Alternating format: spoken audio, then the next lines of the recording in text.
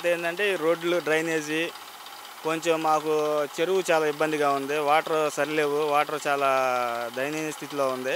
Water bed filter కడతామన్నారు కట్టలేదు. అది ఒకటి శ్మశానం ఒకటే ఇంకా మరీ ఇబ్బందికరంగా ఉంది. శ్మశానం చాలా డౌన్లో ఉండిపోయింది.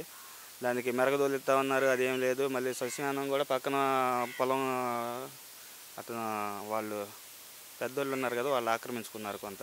మీరు అధికారులు అర్జీ పెట్టుకున్నారా? అర్జీ పెట్టాము లోగడ స్పందనకు పెట్టాము. చేస్తామయ్యా అన్నారు ఇంకా చేయలేదు. జగనన్న కాలం ఇల్లు ఎంతమందికి వచ్చినాయి మీకు? జగనన్న కాలనీలో మాకు ఆల్రెడీ మీకు ప్లాట్లు ఉన్నాయిగా మీకు ఎందుకు కాలనీ ఆల్రెడీ వాటిని మూడు సెంట్లు ఇచ్చి ఉన్నారు కదా వాటిని ఉపయోగించుకోండి అంతేగాని మీకు ఎందుకు అన్నారు. మరి దాంట్లోనే ఇల్లు కట్టుకోమని అవకాశం ఇచ్చారా మీకు? అవకాశం ఏమి ఇవ్వాల. మరి ఆ రకంగా పిచ్చి చెట్లు మరి అధికారులు ఎవరు పట్టించుకోవట్లేదు మరి దీన్ని ఎందుకు శుభ్రం చేయట్లేదు? ఎందుకు చేయట్లేదంటే అది అధికారుల లోపం ఇక్కడ స్థానికంగా కార్యకర్తల లోపం. లోపాలు ఉన్నాయి కొన్ని. మరి ఇక్కడ చూస్తే ఈ ఊరు చూస్తుంటే అడవిని అడవిని తలపిస్తుంది. మీరందరూ ఒకసారి కూడా అధికారుల దగ్గరికి వెళ్ళి మీకు ఒక ఒక లెటర్ ఇస్తే మీకు న్యాయం జరిగిద్దేమో ఇద్దాం అనుకుంటున్నాం. ఆల్రెడీ ఒకసారి రెండు సార్లు పెట్టాము. మాకేమీ రెస్పాన్స్ అవ్వలేదు. మళ్ళీ ఈసారి ఇప్పుడు కూడా వెళ్దాం. చెప్పండి. ఈ ప్రభుత్వంలో మీకు ఎలాంటి అభివృద్ధి జరిగింది? అభివృద్ధి లేదు. ఎందుకని అభివృద్ధి చేసి చెప్తున్నారు కదా ఏం చేశారు అభివృద్ధి? అభివృద్ధి అంటే పది ఫ్యాక్టరీలు రావాలి. మరి రోడ్లు ఉండాలి రవాణా సౌకర్యాలు ఉండాలి అప్పుడు అది అభివృద్ధి. అభివృద్ధి అనేది లేదు. ఎస్సీలకి మేనమానం చెప్తున్నాడు. ఎస్సీ కార్పొరేషన్ నిధులు ఆ లోన్లు ఎట్లా ఉన్నాయి? ఇప్పుడు ఉన్నాయా లేవా? ఎస్సీ కార్పొరేషన్లో రెండు వేల పంతొమ్మిది జగన్ గారి ప్రభుత్వం వచ్చిన కాడ నుంచి ఇప్పటి వరకు ఎస్సీ కార్పొరేషన్ నుంచి ఒక లోన్ మంజూరు లేదు. అసలు ఆ వెబ్సైట్ని క్లోజ్ చేసేసారు. గత ప్రభుత్వంలో? గత ప్రభుత్వంలో ఇరవై ఏడు స్కీములు ఉండేవి భూమి కొనుగోలు పథకం.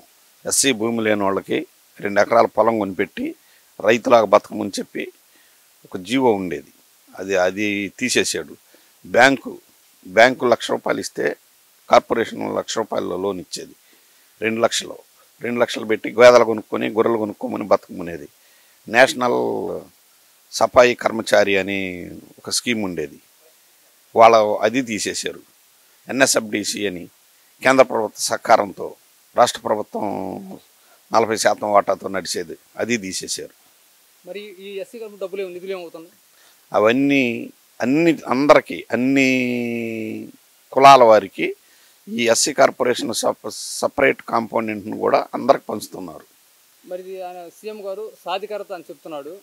అంటే ఈ పేదల డబ్బులు తీసుకుని పెద్దవాళ్ళకి పెడుతున్నాడా? పెద్దవాళ్ళ డబ్బులు తీసుకుని పేదలకు పెడుతున్నాడా? ఇప్పుడు ఎస్సీ కార్పొరేషన్లో సప్లాన్ నిధులు ఉండయి సప్లాన్ నిధులు ఎస్సీలకి ఖర్చు పెట్టాలి. ఓన్లీ అవి ఇయ్యేనని చెప్పి ఈ వాళ్ళకి ఇచ్చే అమ్మఒడి జగనన్న చేయూత ఇవి ఇవి కూడా వాటిల్లో కలుపుతున్నారు. అవి కాదు. అసలు ఈ ప్రభుత్వం వచ్చినాక ఎస్సీలకు ప్రత్యేక ప్రత్యేకమైన కోటాలో వాళ్ళ వాళ్ళ కేటగిరీని బట్టి వాళ్ళకి ఏమి పథకాలు ఉన్నాయి అసలు? ఏమి లేవు. ఆ పథకాలే లేవు. లేదు అసలు ఆన్లైన్ లేదు. ఎస్సీ కార్పొరేషన్ నిర్వీర్యం అయిపోయినాయి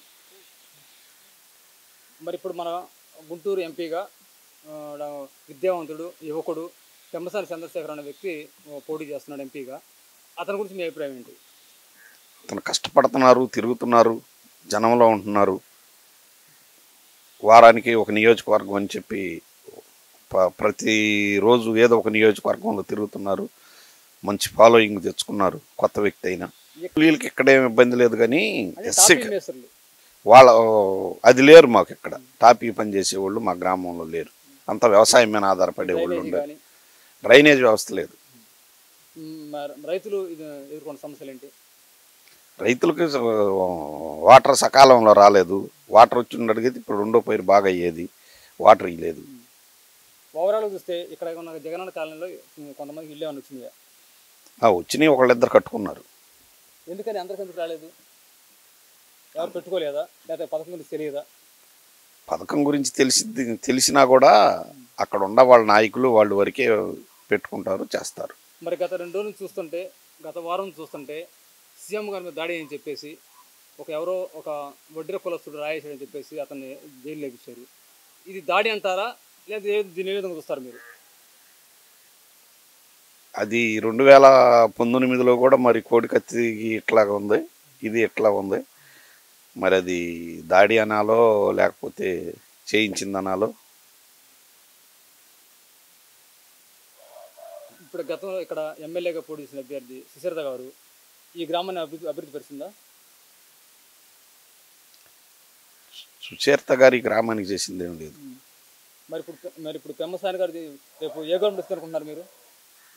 టీడీపీ గవర్నమెంటే.